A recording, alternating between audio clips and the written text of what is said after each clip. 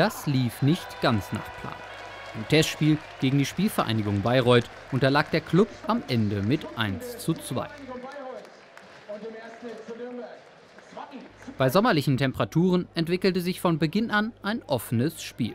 Der Regionalligist bot dem FCN durchaus Paroli und forderte die Defensive immer wieder heraus.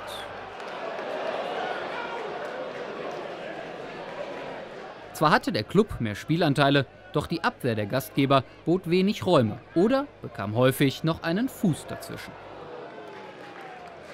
Vor über 3500 Zuschauern waren zwingende Torchancen zunächst eher rar oder ein Zufallsprodukt, wie diese Mischung aus Flanke und Torschuss von Sebastian Kerk.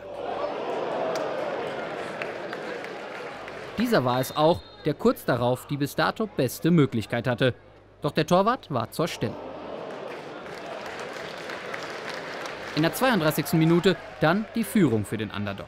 Den ersten Torschuss konnte Patrick Klant zwar noch parieren, doch im zweiten Anlauf war der Ball dann im Kasten.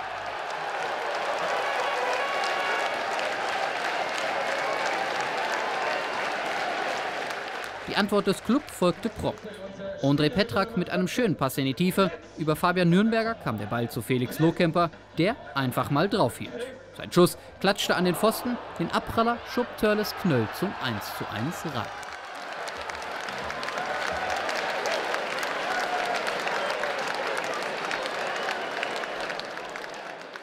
Ja, wir wollten auch äh, heute gewinnen. Ähm, aber nichtsdestotrotz, glaube ich, war das heute ein, guter, so ein guter Test, war ein guter Gegner gewesen, der uns alles abverlangt hat. Und ja, ja jetzt geht's weiter. Natürlich, wir hatten eine intensive Trainingswoche hinter uns mit vielen Einheiten. Nichtsdestotrotz natürlich klar, dass wir zwei Klassen besser sind als die. Es ein Viertligist, deswegen das Ergebnis ist natürlich alles andere als zufriedenstellend. Ähm, natürlich, das Wetter war heiß, aber es darf eigentlich keine Ausrede sein. Ich meine, für die war es genauso heiß wie für uns. Ähm, ja, wir hatten eigentlich genug Chancen, um hier auch Tore zu erzielen. Doch zunächst waren es die Bayreuther, die die Chancen hatten, auf 2 zu 1 zu erhöhen.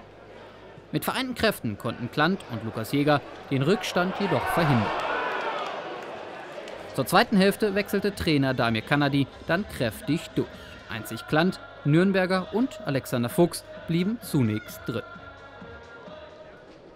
Und nun kamen auch die angesprochenen Torchancen. Guter Pass von Simon Rhein auf Virgil Missijan, der in der Mitte Federico Palacios fand. Sein Abschluss wurde gerade noch geblockt.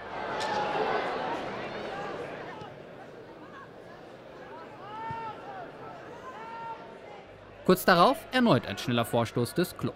Missijan diesmal über rechts auf Rhein, der uneigennützig für Fuchs ablegte. Doch dem rutschte der Ball über den Spann.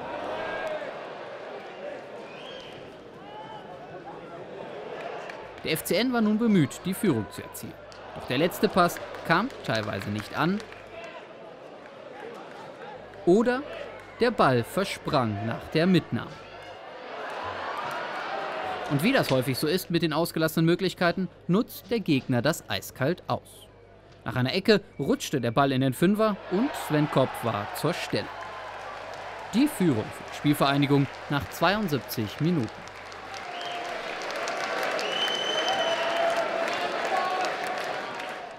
Wie schon nach dem 0 zu 1 wollte der Club schnell zurückschlagen. Rein steckte durch auf Palacios und tatsächlich das 2 zu 2. Doch zu früh gefreut Palacios stand knapp im Abseits. Wir hatten ja genügend Torraumzähler auch in der zweiten Halbzeit.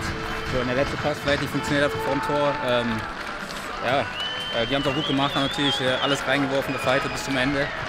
Deswegen, ja, Glückwunsch an Bayreuth und ja, wir, wir haben jetzt gesehen, dass wir noch viel Arbeit vor uns haben. Und jetzt heißt es einfach trainieren und, und versuchen, die Spielweise vom Trainer so zu verinnerlichen und ähm, ja, und, und da müssen wir jeden Tag daran arbeiten. Eine Möglichkeit gab es noch. Kurz vor Schluss scheiterte Misijan mit einem Freistoß am Pfosten. So blieb es am Ende beim nicht unverdienten 2:1 Sieg für die Bayreuther. Für den Club gehen die englischen Testspielwochen dagegen weiter. Am Mittwoch wartet mit dem FC Basel ein international erfahrener Gegner auf das Team. Anpfiff in Allershausen ist um 17.30 Uhr.